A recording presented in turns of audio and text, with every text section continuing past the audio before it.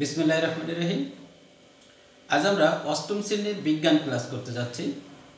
তো অষ্টম শ্রেণির সকল শিক্ষার্থীদের দু হাজার একুশ সালের শুভেচ্ছা জানিয়ে আমি আজ প্রথম ক্লাস তোমাদের শুরু করছি। তো আমি তোমাদের বিজ্ঞান ক্লাস শুরু করব এখন। তো দেখো, বিজ্ঞানের প্রথম অধ্যায়টা কি সেটা এখন আমরা দেখি। দেখো, প্রাণী জগতের শ্রেণীবিন্যাস। প্রাণী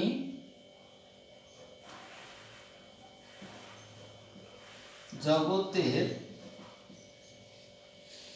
শ্রেণি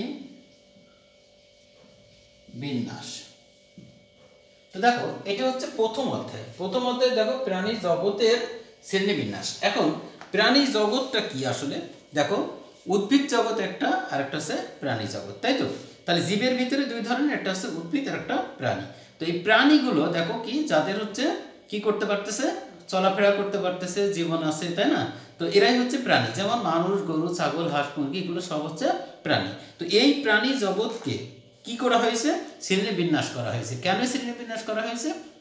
খেয়াল করো, এখন যদি প্রাণী জগৎ, পুরো প্রাণী জগৎটাকে আমরা আলাদা আলাদা করে না দেখে প্রত্যেকটা এক একটা করে যদি প্রাণীকে আলাদা করে আমরা বৈশিষ্ট্য জানতে যেতাম, তাহলে কিন্তু আমাদের সেটা অত্যন্ত কষ্টকর হতো, ঠিক আছে? যে কারণে কি করা হয়েছে? এটাকে একটা শ্রেণীতে ভাগ করা হয়েছে। যদি মানুষ হয়, তাহলে সকল মানুষ জাতির যে বৈশিষ্ট্য, সকল মানুষেরই বৈশিষ্ট্য একরকম হবে, ঠিক আছে?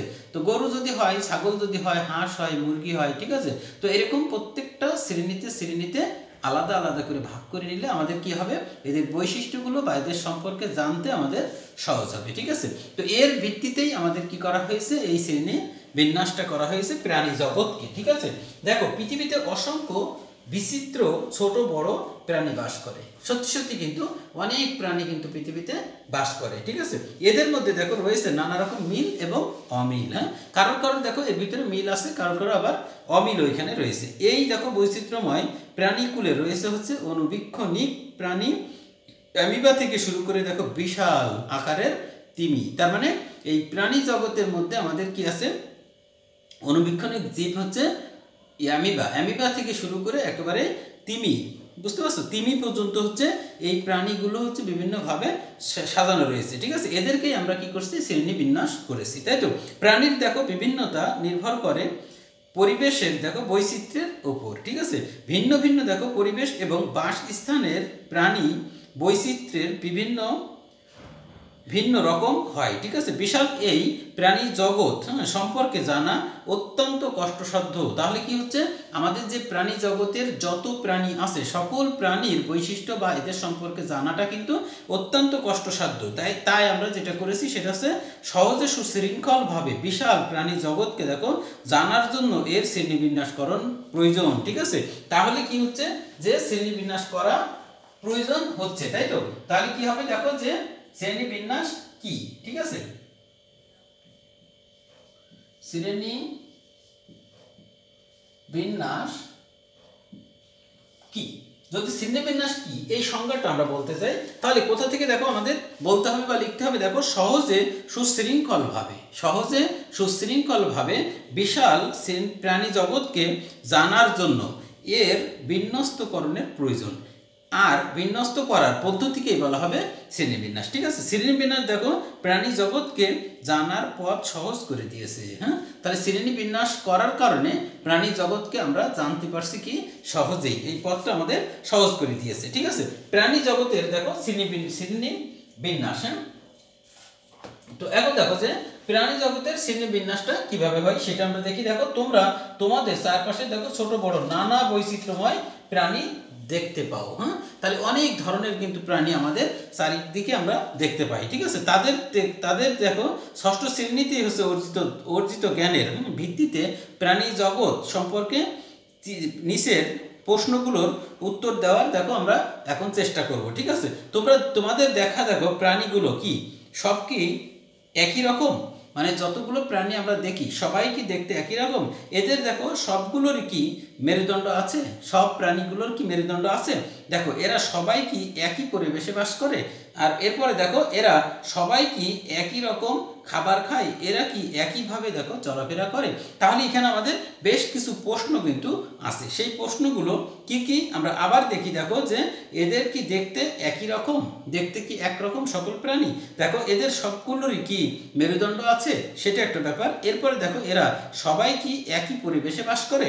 এরপরে দেখো এরা সবাই কি একই রকম খাবার খায়? এরা কি একই, একইভাবে দেখো চলাফেরা করে? তাহলে এই যে প্রশ্নগুলো করা হলো, এই প্রশ্নগুলোর সবটারই কিন্তু উত্তর হচ্ছে না, ঠিক আছে? না। তারপরে দেখো, এবার তুমি নিচের উত্তরগুলোর সাথে তোমার চিন্তার, চিন্তাকে দেখো মিলিয়ে নাও। আমাদের চারপাশে দেখো, আমরা যে প্রাণীগুলোই দেখি, তার সবগুলোই হচ্ছে দেখতে একই রকম না, ঠিক আছে? একরকম না। বিভিন্নটা বিভিন্ন প্রাণী কিন্তু বিভিন্ন রকমের, ঠিক আছে? এদের দেহের আকার, আকৃতি এবং অন্য অন্য দেখো, জৈবিক কার্য- কার্যক্রম কার্যকর্মের, দেখো, প্রকৃতিও হচ্ছে ভিন্ন রকম। এদের হচ্ছে কোনোটির কোনোটির মেরুদণ্ড আছে, আবার কোনোটির মেরুদণ্ড নাই, ঠিক আছে? আবার দেখো, এদের হচ্ছে কোনোটি মাটিতে বাস করে কোনোটি পানিতে বাস করে, আবার কোনোটি গাছে বাস করে, ঠিক আছে? তাদের মানে এদের বাসস্থানও কিন্তু এক নয়, ঠিক আছে? এদের দেখো, খাদ্যও দেখো বিভিন্ন প্রকারে হয়, ঠিক আছে? খাদ্য খাদ্য দেখো বিভিন্ন প্রকারের হয়। এরা দেখো বিভিন্ন অঙ্গে, অঙ্গের মাধ্যমে এরা কি করে? চলাফেরা করে। কি কি অঙ্গের মাধ্যমে? দেখো, সিটা পা উপাঙ্গ, ঠিক আছে? এইগুলোর মাধ্যমে এরা চলাফেরা করে। আবার দেখো, কোনোটি দেখো, চলন শক্তি নেই, ঠিক আছে?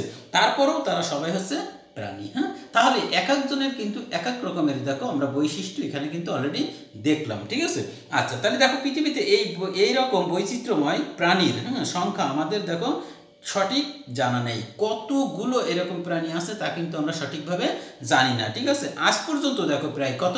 পনেরো লক্ষ প্রজাতির প্রাণী হচ্ছে আবিষ্কার করা হয়েছে, ঠিক আছে? আবিষ্কৃত হয়েছে। তাহলে পনেরো লক্ষ প্রজাতির প্রাণী, ঠিক আছে? পনেরো লক্ষ প্রজাতির প্রাণী এই পর্যন্ত কি আবিষ্কৃত হয়েছে, ঠিক আছে? প্রতিনিয়তই দেখো এদের সংখ্যা কিন্তু বেড়েই চলেছে, ঠিক আছে? কারণ বিজ্ঞানীরা কিন্তু বসে নেই। তারা হচ্ছে অলওয়েজ কি করতেছে? গবেষণা করে নতুন নতুন প্রাণীর অনুসন্ধান করতেছে। বিশ- দেখো বিপুল বিপুল সংখ্যক প্রাণীর হ্যাঁ গঠন এবং প্রকৃতি প্রকৃতি সম্বন্ধে দেখো জ্ঞান অর্জনের সহজ উপায় হচ্ছে শ্রেণীবিন্যাস ঠিক আছে? তাহলে বিপুল সংখ্যক হচ্ছে প্রাণীর হ্যাঁ গঠন এবং প্রকৃতি সম্বন্ধে জ্ঞান অর্জনের দেখো সহজ উপায় হচ্ছে শ্রেণীবিন্যাস ঠিক আছে? তাহলে দেখো শ্রেণি প্রাণী দেহ দেহের দেহে দেখো বিভিন্ন বিদ্যমান বিভিন্ন বৈশিষ্ট্য এবং বিভিন্ন প্রাণীর।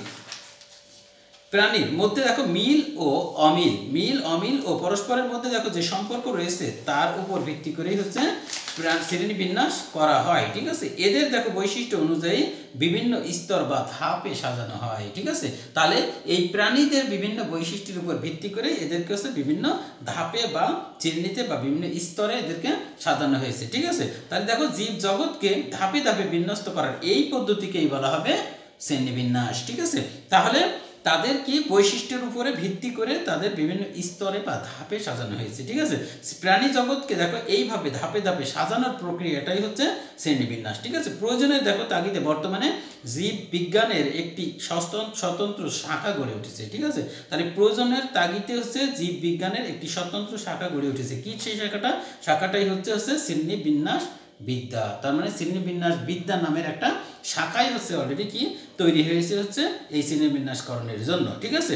আচ্ছা এরপরে দেখো প্রজাতিগুলো শ্রেণীবিন্যাসের সবচেয়ে নিচের ধাপ বা একক, ঠিক আছে? তাহলে এরকম ধাপে ধাপে কিন্তু সাজানো হয়েছে। এই ধাপের ভিতরে হচ্ছে প্রজাতি হচ্ছে সবচেয়ে নিচের সবচেয়ে নিচের ধাপ হচ্ছে প্রজাতি। যেমন দেখো মানুষ, তারপর হচ্ছে কুলো ব্যাং কুনো ব্যাং ঠিক আছে? তারপরে আছে কবুতর, ইত্যাদি, এক একটি প্রজাতি, ঠিক আছে?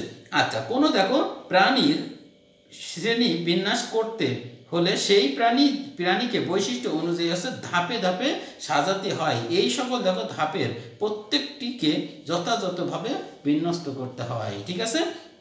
আচ্ছা এরপরে দেখো শ্রেণীবিন্যাসের ইতিহাস ইতিহাসে দেখো অ্যারিস্টটল এবং কার নাম? জন রে ও ক্যারোলাস লিনিয়াসের দেখো নাম উল্লেখযোগ্য, ঠিক আছে? কার কার নাম? সেটা দেখো। অ্যারিস টটল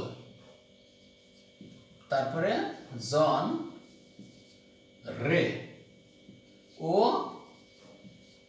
ক্যারো লাস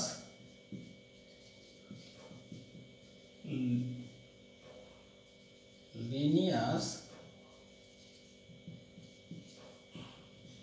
ক্যারোলাস লিনিয়াস তাহলে কি? অ্যারিস্টটল জন ও ক্যারোলাস লিনিয়াস এই তিনজনের নামই কিন্তু এই শ্রেণীবিন্যাসের ক্ষেত্রে হচ্ছে উল্লেখযোগ্য। দেখো, প্রকৃতি বিজ্ঞানী ক্যারোলাস লিনিয়াসকেই হচ্ছে শ্রেণীবিন্যাসের জনক বলা হয়, ঠিক আছে? তাহলে এই ক্যারোলাস লিনিয়াস এনাকেই কিন্তু কি বলা হচ্ছে? শ্রেণীবিন্যাসের জনক বলা হচ্ছে। তাকে কি বলা হয়েছে? প্রকৃতি বিজ্ঞানী, ঠিক আছে? তিনি দেখো সর্বপ্রথম হচ্ছে প্রজাতির বৈশিষ্ট্য চিহ্নিত করেন এবং হচ্ছে দ্বিপদ বা দুই পদ বিশিষ্ট নামকরণ প্রবর্তন করেন। খেয়াল করো একটা ব্যাপার যে দ্বিপদ নামকরণ হ্যাঁ? তোমাদের কিন্তু জানতে হবে যে দ্বিপদ নামকরণ। নামকরণ হ্যাঁ? এটা কি? দ্বিপদ নামকরণ হচ্ছে কি? দুইটি পদ থাকবে। একটা নামকরণের ভিতরে দুইটি পদ থাকবে। পদ মানে হচ্ছে কি? শব্দ থাকবে। দুইটি শব্দ দ্বারা যে নাম হচ্ছে, সেটাকেই আমরা বলব হচ্ছে দ্বিপদ নামকরণ, ঠিক আছে? এর প্রবক্তাকে এর প্রবক্তা হচ্ছে কিন্তু ক্যারোলাস লিনিয়াস। একটি দেখো জীবের বৈজ্ঞানিক নাম দুই অংশে বিভক্ত বা দুইটি পদ থাকে, ঠিক আছে? এই নামকরণকেই দ্বিপদ নামকরণ বা বৈজ্ঞানিক নাম বলা হয়, ঠিক আছে? তাহলে এখন দেখো, মানুষের বৈজ্ঞানিক নাম হচ্ছে হোমো সেপিয়েন্স হ্যাঁ? খেয়াল করো হোমো সেপি, সেপিয়েন্স হ্যাঁ? তাহলে খেয়াল করো যে হোমো সেপিয়েন্স, এটা কিন্তু আমরা বড় অক্ষর লিখছি আর এইটা ছোট অক্ষরের হবে সেপিয়েন্স হ্যাঁ? কিন্তু নিচেই আমরা আলাদা করে দাগ দেব। কারণ হচ্ছে কি, আমরা ইটালিক হরফে কিন্তু হাতে লিখতে পারি না। যে কারণে আমাদের কি করতে হবে?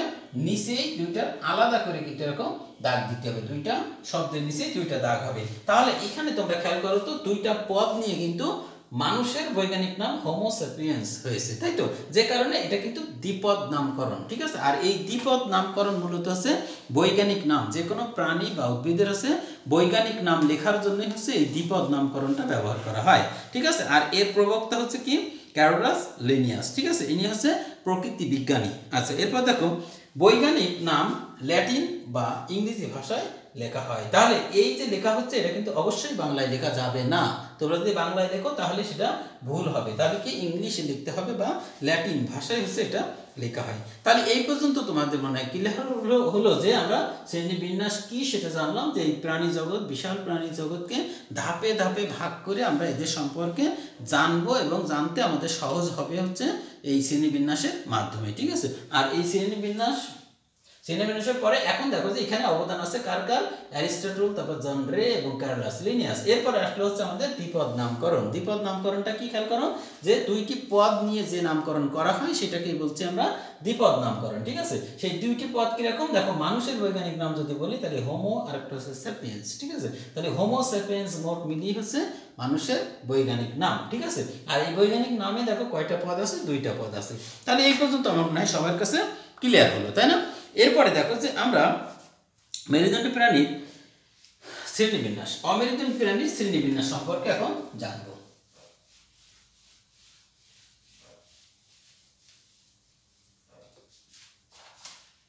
অ মেরু দণ্ডী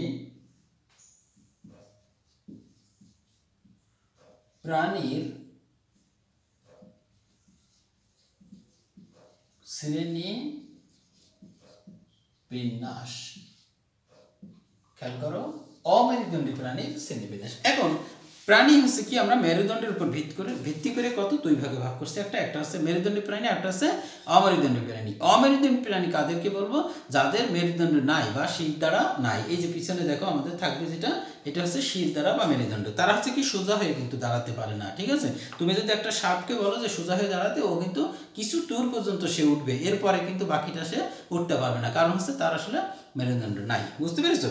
আচ্ছা তাহলে এখন দেখো যে আধুনিক দেখো, শ্রেণীবিন্যাসের সকল প্রাণী হচ্ছে অ্যানিমেলিয়া, ঠিক আছে? অ্যানিমেলিয়া জগতের, জগৎ বা জগতের দেখো অন্তর্ভুক্ত, ঠিক আছে? এই শ্রেণীবিন্যাসের পূর্বেই পোর্টোজোয়া পর্বের হচ্ছে পটিস্টা জগতে দেখো একটি আলাদা উপজগৎ হিসেবে স্থান পেয়েছে। তাহলে পটিস্টা হচ্ছে কি?